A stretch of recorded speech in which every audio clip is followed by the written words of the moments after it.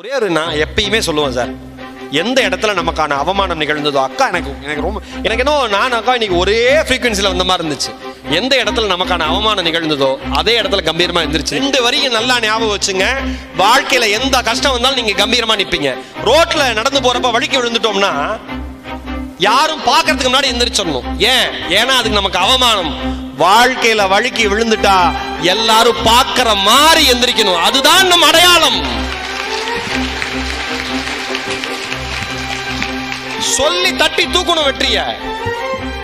என் வாழ்க்கையில தான் நான் பண்ணிருக்கேன் இந்த வருஷத்துல இந்த கார் வாங்குவேன். நான் டார்கெட் வச்சா அதுதான் பண்ணிருக்கேன் எல்லாரும் ஆச்சரியப்படுவாங்க. எப்படி நடந்தது? நடக்கும் நினைக்கிறேன் நடக்குது. வெறித்தனமா உழைக்கணும். எதுக்குமே கவலைப்படக்கூடாது. நினைத்த இடம் கிடைக்கிற வரை கடுமையாக உழைக்கணும். நினைத்த இடம் க- கிடைச்சதுக்கு அப்புறம் நினைச்ச இடம் கிடைச்சதுக்கு அப்புறம் அதை தக்க வச்சிருந்ததுக்கு இன்னும் வேகமா ஓட ஆரம்பிக்கணும். இந்த பட்டிமன்ற பேச்சாளர்கள் ஈரோடு மகேஷ்க்கு பேச வராது ஈரோடு மகேஷால காமெடி பண்ண முடியாதுன்னு என்ன அவ்வளோ தரம் தாழ்த்தி பேசுனாங்களோ ஏழு வருஷம் கல்லூரி படிக்கிறப்ப பிலிட்டு எம்ஏ எம்பில் இந்த ஏழு வருஷமும் நான் மேடையில் பேசியிருக்கேன். இந்த ஏழு வருஷமும் என் கூட டிராவல் பண்ண எத்தனையோ பேர் என்னை தாழ்த்தி பேசியிருக்காங்க.